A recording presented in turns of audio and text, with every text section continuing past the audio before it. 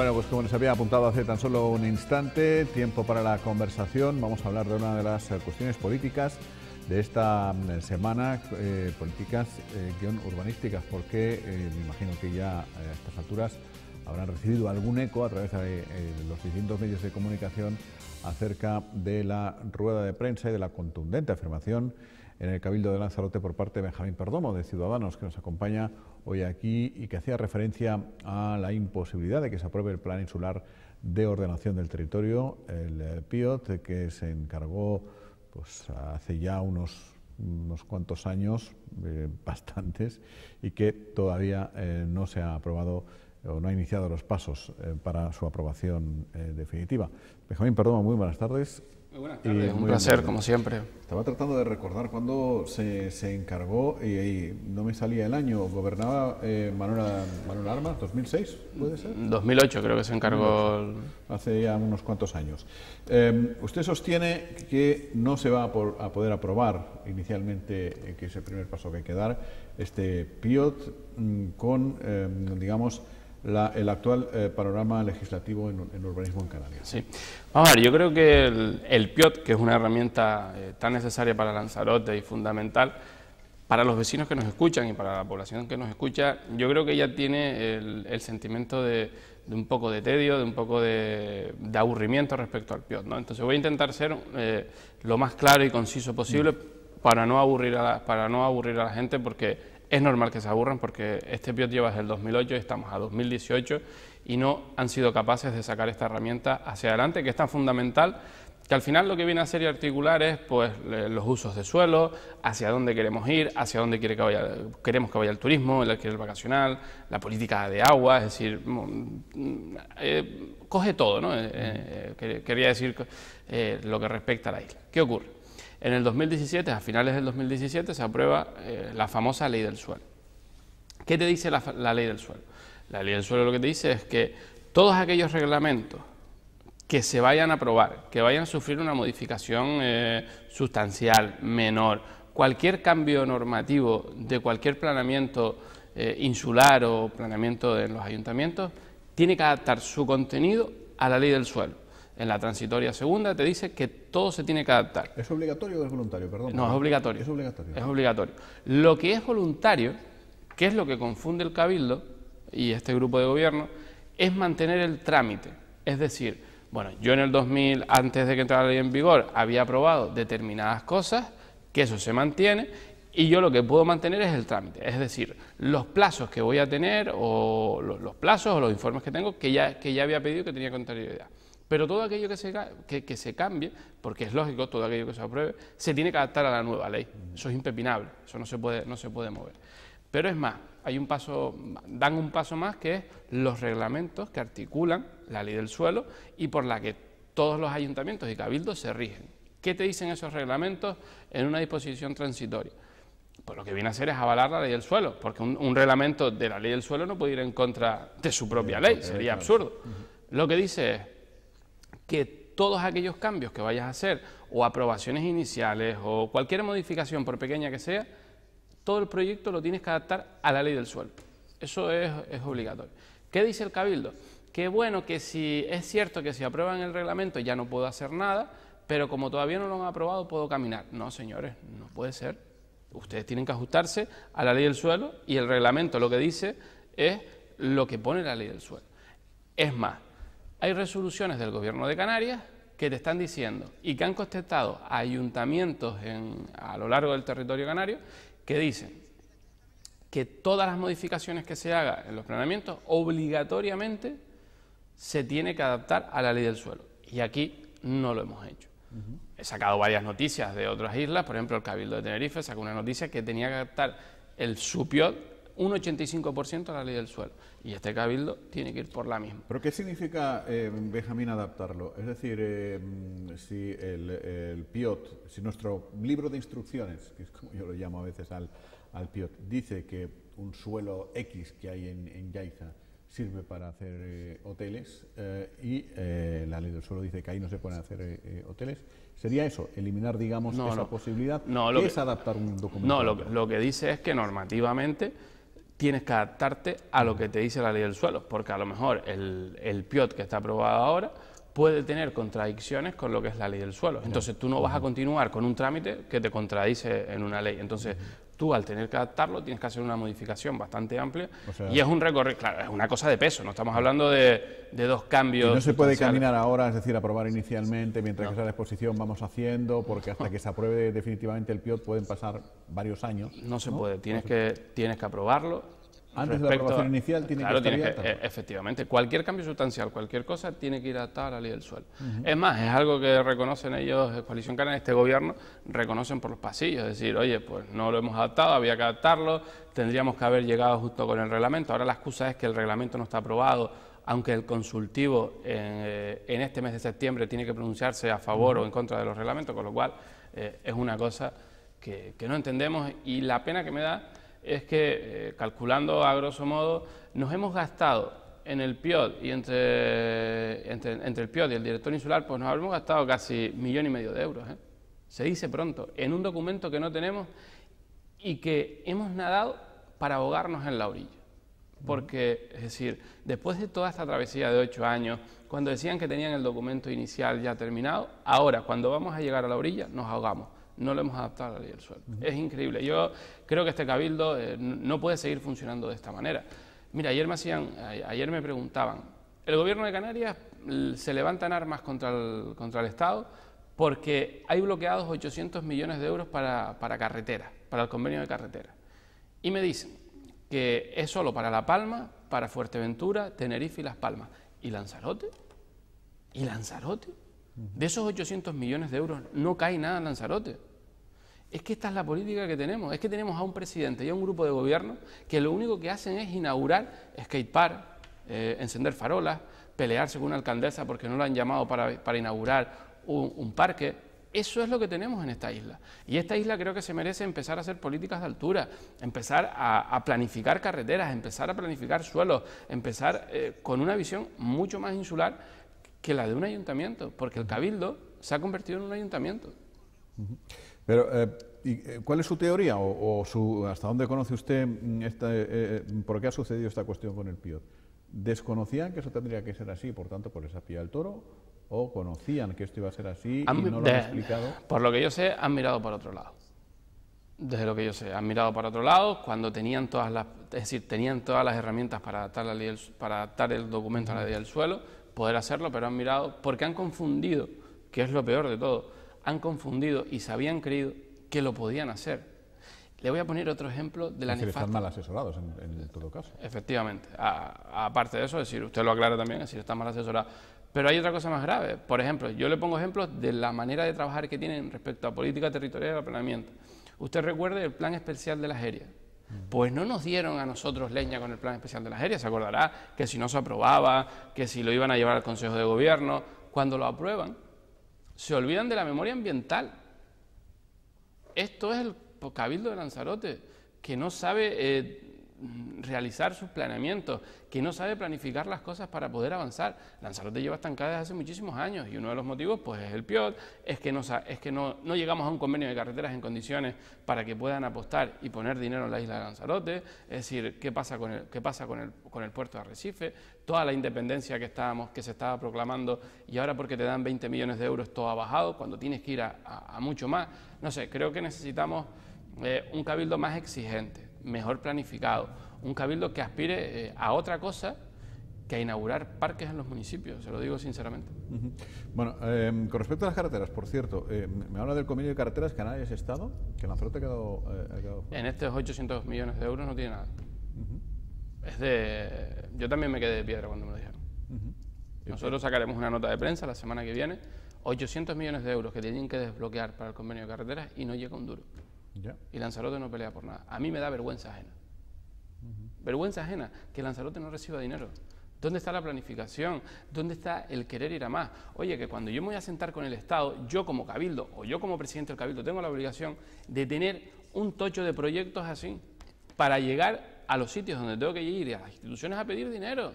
Bueno, en el tema de carreteras me consta que existe en fin, un, un, dossier o un proyecto. Hay un movimiento, hay un movimiento respecto... Un movimiento que parte justamente de abajo arriba, de, de la ciudadanía pues para soterrar Argana, para soterrar Macher, ya lo hemos comentado. Efectivamente, eh, en, el, eh, el, cual yo valoro Ideas hay, propias o ajenas, pero hay ideas, ¿no? Hay ideas, pero hay que, hay que trasladarlas al cabildo y hay que ser valiente, es decir, hay que ser valiente y hay que ser ambicioso, que en política no es malo ser ambicioso y sobre todo cuando estás hablando de, tu isla y de querer avanzar. ¿Usted lo ve? No hay ambición. ¿Su partido lo ve? Esa posibilidad eh, de soterrar. Sin duda. No, bueno, nosotros sacamos un eh, nosotros llevamos al Pleno del Cabildo eh, soterrar Playa Honda, mm. pero es que también creemos que hay que soterrar Tías y que hay que conectarlo, pero es que también creo que hay que soterrar Maneje, pero es que también creo que hay que soterrar la salida de Arrecife hacia San Bartolomé y hay que unir esa zona comercial. Es decir, yo lo que no quiero es consumir más carreteras. Es decir, no hay que poner más carreteras en el suelo, en, en nuevo suelo en suelo virgen. Lo que hay que hacer es todas aquellas infraestructuras que tengo, voy a sacarle el mayor rendimiento. Y para eso hay que ser ambicioso. Pero claro, cuando tu ambición cae en poner un museo submarino en el sur de la isla, o cuando tu ambición cae, como digo y repito, en vendernos un balón de argana más alta, ¿usted sabe en qué quedó argana más alta? Cambiar unas redes de unas canchas deportivas, un skatepark, y un programa de, comprar una casa para que la gente pueda utilizar lo del famoso la casa de Argana. Nada más. En eso ha quedado eh, a bombo y platillo aquello que nos anunciaron, que se gastaron un dineral en, hacer anuncios en, redes sociales, en periódicos, se quedó en nada. En cambiarle las redes a una cancha de fútbol, en hacer un skatepark y en, y en comprar una casa de 800.000 euros un almacén. Es que es increíble, es decir, no hay ideas, no hay iniciativa, no sabemos hacia dónde va esta isla. Y creo que es hora, y creo que en el 2019 veremos los cambios, de que Lanzarote necesita otra cosa y que Lanzarote necesita avanzar y necesita mejorar y necesita estar planificada y necesita eh, ir a las instituciones eh, con proyectos hechos y redactados.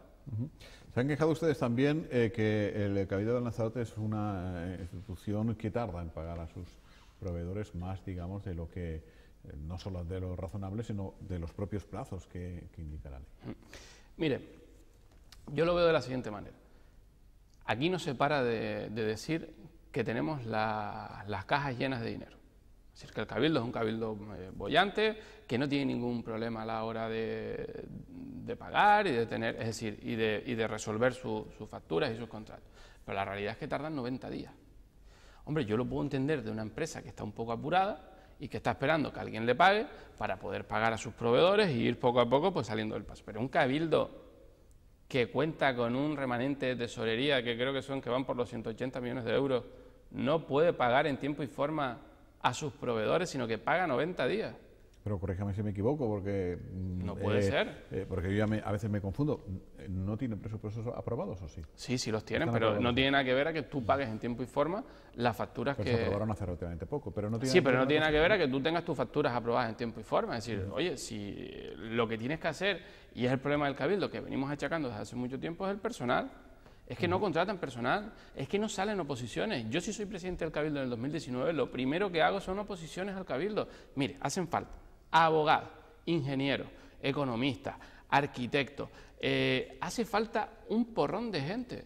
¿Y hay gente dispuesta a, trabajar en ello, en la institución? Yo creo que sí. Además, el Cabildo es una institución que ilusiona y es una, institución que puede funcionar de maravilla. Pero claro, si, lo que hace es sacar plazas siempre de funcionarios interinos eh, para tenerlos en una situación de inestabilidad, lo que hay que hacer es sacar plazas a oposiciones en todas aquellas áreas que hacen falta. Política territorial está desierto. Hacienda está desierto, eh, patrimonio está desierto.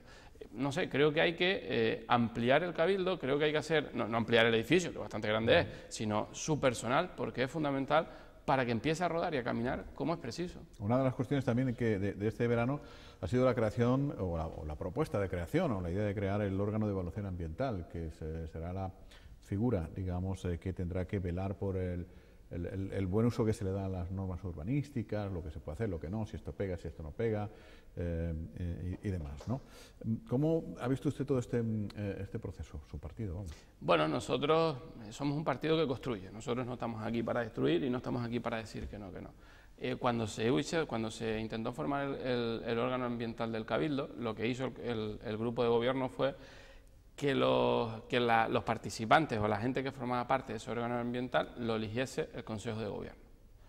Nosotros dijimos, vamos a ver, dentro de las discrepancias que podamos tener, que lo elija el, Pleno del Cabildo, porque oye, es más transparente, a lo mejor yo puedo hacer propuestas de gente que, pueda conocer, o, otro partido, o es decir, al final se debatan eh, los currículums, se debata todo respecto al órgano ambiental. Bueno, y el, y el grupo de gobierno accedió a que sea el pleno y nosotros pues nos postulamos y dijimos, oye, pues estaremos a favor de que se apruebe. Que se puede mejorar y que, y que se puede sacar, seguro. Pero bueno, son posturas que, que, te, vas que te vas encontrando a lo largo del pleno para mejorar la vida de los ciudadanos, porque al final venimos a aportar y hacer eh, que cuanto mejor se pueda vivir en esta isla, mejor para, eh, mejor para todos. ¿no? Y, bueno, hubo un cambio y nosotros lo aceptamos. ¿Cuál es el problema? Que no hay personal, aunque tú hayas aprobado el órgano, ¿cuál es el problema? El problema está en que no hay personal suficiente para el órgano ambiental, porque de donde quien te informe en el órgano ambiental no te puede informar en las áreas del cabildo. Es decir, tú no puedes tener a alguien, algún funcionario eh, informando en medio ambiente y ese mismo funcionario informando en el órgano ambiental. No se, no se puede hacer, no hay, no hay personal. Pero claro, estamos hablando de una institución, eh, en fin, eh, de peso en el conjunto del archipiélago, como es un cabildo, el cabildo de, de, Lanzarote. el órgano de evaluación ambiental lo van a tener que crear absolutamente todas las corporaciones. No, todos solo las quien quiera. No, no. Eh, también los ayuntamientos, pero mm, si no, pueden, si no tienes dos opciones. Mm. Tú puedes crear tu órgano ambiental y, eh, es decir, tu órgano ambiental o hacer un convenio con el órgano ambiental autonómico. Es decir, que era lo que se propuso en un primer momento, pero el Cabildo quería tener su, su, propio, su propio órgano ambiental. Nosotros dijimos, cuando hayan plazas y haya funcionarios, crea el órgano ambiental y después, es decir, haz un convenio y después creas el órgano se accedieron a los cambios, entonces, bueno, pues en punto intermedio creamos el órgano y, ya se buscará. Con un, con un envite eh, del presidente al sugerir la propuesta de Polo Díaz. Sí, pero bueno, no, eso él dijo la propuesta de Polo Díaz, pero otra cosa es que salga, es decir, otra cosa es que el propio Polo Díaz o el propio funcionario quiera hacerlo, que eso ya se tendrá que discutir y no es un problema y eso no es un problema nuestro, eso es una cosa personal de esa persona que, si quiere ir o, o no quiere ir. Pero sí es verdad que los de, es decir, hay un órgano ambiental en Canarias que todos los ayuntamientos y los cabildos que no creen su propio órgano ambiental pueden conveniar con ellos para que sean sus propios órganos ambientales. Yo creo que Lanzarote tiene que tener su órgano ambiental y que el cabildo haga de paraguas a los demás Sí, pero que será, claro, porque es que si no hay gente en el Cabildo de Lanzarote, pues... Pero por eso hay que convocar, por eso digo... De el o el de Tinajo, que son más pequeños, porque yo no sé, eh, claro, estará reglamentado, ¿qué, mínimo habrá? Porque un órgano de evaluación ambiental, aunque el ayuntamiento sea muy pequeño, no lo formará una persona, lo tendrán que formar mínimo X, no sé. sí, vamos a ver, hay ayuntamientos pequeños en los que no, tendrán, no, podrán tener su propio órgano ambiental.